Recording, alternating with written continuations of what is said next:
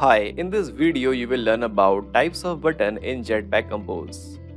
So the first one is the normal button, the second is the outline button and the third one is the text button. And you will also learn how to add icons to these buttons. In the end of this video, I will also show you how to customize or style these buttons. So make sure you watch till the end. Hi, this is Sriyank Siddhartha and welcome to my first video on Jetpack Compose. So without wasting any time, let's get started. So here within the main activity, I have added three functions. These will display three types of button, of course. And I will place these composable functions within a column, like this. Okay, now to create a button within this normal button function, we just need to use the button composable like this. And within the button, the required parameter to pass is on click parameter, which is right now empty and it takes a lambda function. Now inside this button, to add text to it within these two parentheses, this opening one and the closing one, we just need to use the text widget or the text composable. Let's import it by pressing Alt plus Enter and always choose the one from compose UI text. And then as a parameter, pass your text. Let's run the application. Perfect. So here is our button at the center of our column. So creating a button is very simple. Just use the button composable and as the content of the button, I am right now passing text. Additionally, you can also add a icon to the left of this text or to the right of this text. So for this within this parenthesis, I will use another widget of icon like this. Now if you place this icon widget just next to this text widget then in that case the icon will appear to the right of your text in your UI over here. But right now I am placing it just before the text. So our icon will appear to the left of our text. Why? Because the buttons behaves just like the row widget, which places its content horizontally, one after the other. Now, for this icon widget, we need to define at least two parameters. The first is the image vector where I am using a vector image from the Android SDK, right? And the second is the content description which is basically meant to make your application accessible. Fine, let's run the application. Okay, it's working but our icon is looking little bigger than our text. So for that what we can do is we can customize our icon further by using its size modifier. Well, here I am using button defaults dot icon size. It's always good to use resources from this button defaults object. So this will apply a default size to our icon. Let's run it. So here we go, we have got our icon resized. Now in between the icon and the text, you will find there is no space at all. So what I will do is I will add space in between them by using the spacer composable function. And if you want, you can remove these extra line of space in between them. It's okay. Let's run it. Perfect, looks amazing. Now if you click your button, nothing happens. It is clickable but no action is taking place. Just because within the button our onClick parameter is right now empty. It is having a empty lambda function. So in between these two parentheses, we are going to add a method to show the toast message. I will keep the thing simple such as show toast and I'm going to create a separate function showToast over here. Like this. And from this function I will pass the context. And for context in compose we can get the context by using local context dot current. Like this. This is the way we can extract context object in jetpack compose. So please note this. Now from this function we can pass the context and the message which we want to display. Great. So this is the code as of now. Let's run the application. Click the button. There we go, we got a toast message. Great, isn't it?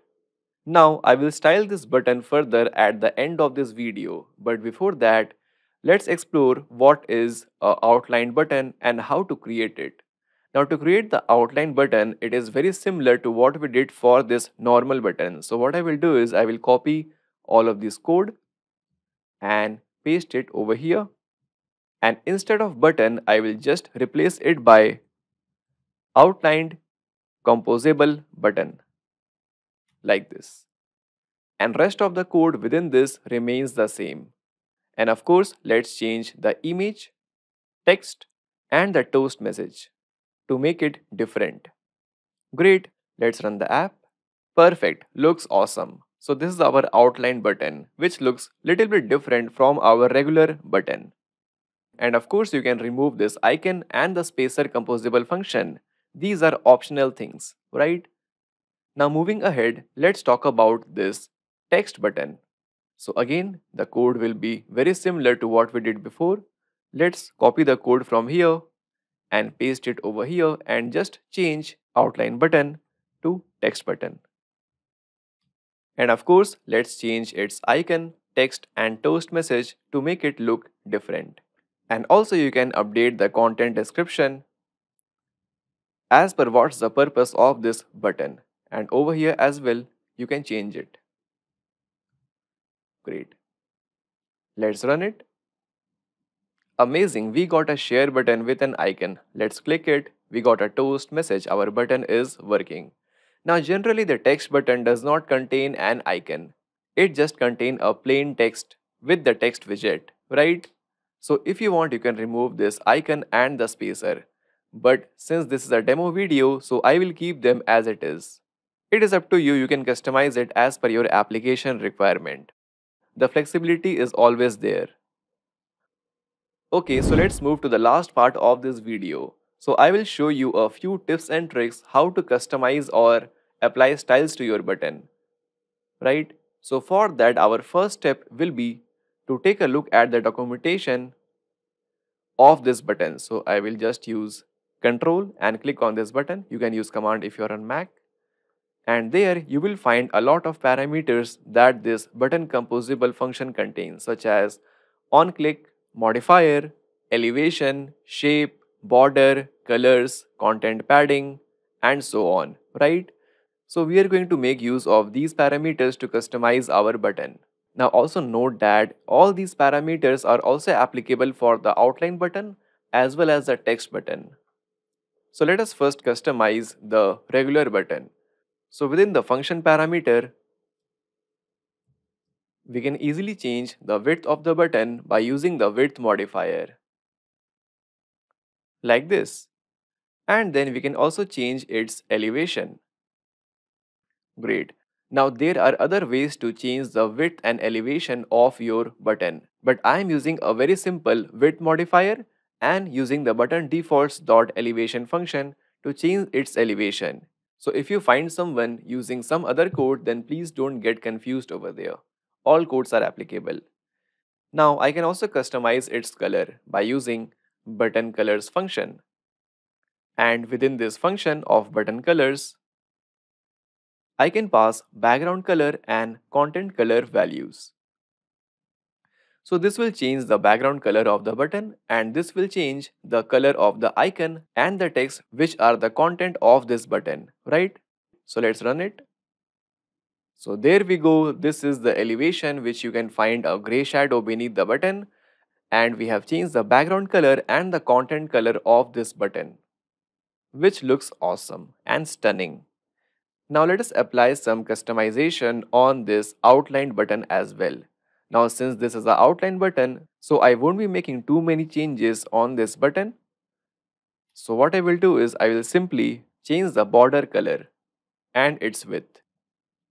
So this 1 dp will be the thickness of the outlined button and its color will be blue. So you can choose your own color of course. Let's run it and see the changes. There we go, we got a border of 1 dp and its color is blue. So let's keep it this much simple. Now this border parameter can also be applied on your regular button as well as on your text button. Right? Now for this text button, I won't be doing any changes.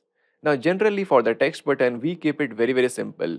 It just contains a plain single text. But since this is demo, I have also added the icon and the spacer composable for this button.